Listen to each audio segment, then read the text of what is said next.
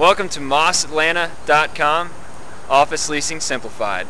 My name is Patrick Braswell, and I'm the founder of MOSatlanta.com, and we are bringing you Atlanta's ultimate property tour.